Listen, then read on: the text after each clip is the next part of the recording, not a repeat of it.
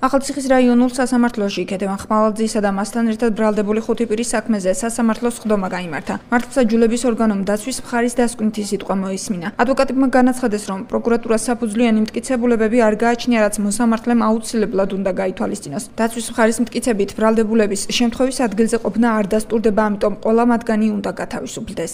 ბრალდების მხარე პროკურატურა ჩავარდა ნოკაუტში. ჩვენი დასკვნითი სიტყვები იყო კატეგორიული დასაბუთებული. რამოდენიმე უთხიარი მტკიცებულება უნდა კონდეს რომ გამოიტანო გამამტყუნებელი განაჩენი. ვინაიდან კეთონივან ხვალაძის მიმართ არ არსებობს უთხუა არც ერთი უთხუარი მტკიცებულება მხოლოდ ერთი ირიბი ჩვენება ირიბი ჩვენება ირიბი ჩვენებაზე დაყრდნობა არ შეიძლება. ამიტომ მოსამართლე ჯეირანაშვილმა უნდა დაადგინოს გამართლებელი განაჩენი დღესვე ერთ-ერთმა ბრალდებულმა ივანე გელაშვილმა სასამართლოს განუცხადა, რომ თავს დამნაშავედ ცნობს და მოსამართლეს მისი ოჯახური მდგომარეობის გათვალისწინებით შეღავათის გაწევას თხოვა. გელაშვილმა დეტალურად გაიხსენა, როგორ ჩავიდა ტყემლანაში, სადაც დანარჩენი ხუთი ბრალდებული დახვდა. აღნიშნა, როგორ წაიყვანა ისინი ორჯერ ნინოწმინდაში, ჯერ სათვალთვალო, შემდეგ დასაყაჩაღებლად. სააკიანების სახლიდან გამოსულები კი მანქანით უკან წამოიყვანა. გელაშვილის თქმით, მათი საუბრიდან გაიგო ქალის მკვლელობის შესახებ. ასევე მოყვა იმის თაობაზე, როგორ მოიშორეს გზაში მკვლელობის სავარაუდო იარაღი. არა, ახლა ზავობია ბოჭი.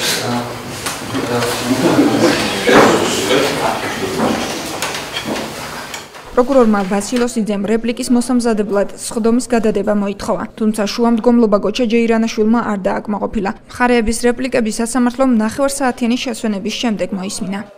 გამიხილეთ ესე იგი ბრალდებულების მიმართ სისხლის სამართლის საქმე, მხარეებმა წარმოთქვეს დასკვნის სიტყვები, ბრალდებულებმა თქვეს თავიანთი დასკვნის სიტყვები და სასამართლო გავიდა სათათბიროში განაჩენის გამოსატანად. გვაქვს იმედი, რომ მიიღებს ობიექტურ გადაწყვეტილებას და თითოეულ ბრალდებულს დამნაშავედ ცნობს. მოსამართლე გოჩა ჯეირანაშვილმა მოისმინა ბრალდებულების საბოლოო სიტყვებიც. ქეთევან ხმალაძის გარდა ყველა მათგანი მოკლე კომენტარით შემოიფარგლა და გოჩა ჯეირანაშვილს სამართლიანი განაჩენის გამოტანას თხოვა. რაც შეეხება ხმალაძეს, მან სამართალდამცველები ფიზიკურ ზეწოლაში დაადანაშაულა როგორც მისი, ასევე არასრულწლოვანი შვილის მიმართ. 16 საათის განმავლობაში უმოწყალოთ ცემეს, მაწამეს, მამტყიეს თითები, მიდრიხეს ხელები. დღეს ბრალდების მხარე აი დარბაზში აფიქსირებს იმას, რომ ძიება მიმდინარეობს. რომელ ძიებაზეა ბატონო მოსამართლე საქმე?